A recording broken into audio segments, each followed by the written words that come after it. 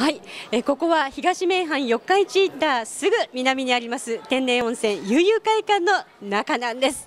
え早速佐野武社長にお話を伺います。よろしくお願いします。よろしくお願いいたします。ねもう本当にイベントたくさんの悠々会館なんですが、はいまた一つ増えましたね。そうですね。あのこだわりの寿司コーナーをですね、新たにリリニューアルオープンというところでフロント横テレビの横にですね、えーリニューアルオープンさせていただきました。うん、本当にあのお寿司はいいですよね。そうですね。あの私どもの名物でもあるんですけれども、はいえー料理長自らがですね、えー握って、えー巻いてという部分で旬のお魚をお客様のご要望に応じて一品ずつご提供させていただこうと、新しい形の、えーお寿司コーナー、えーこちらにオープンしました。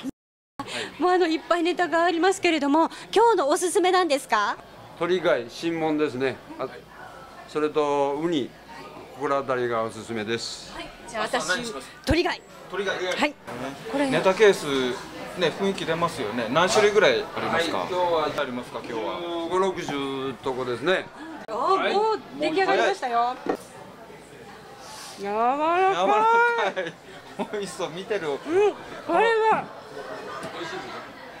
このうん、料理長笑顔になるっていうのはいいですよね。はいそうですね。笑顔になる一番ですね。一番ですね。はい。こんな感じ。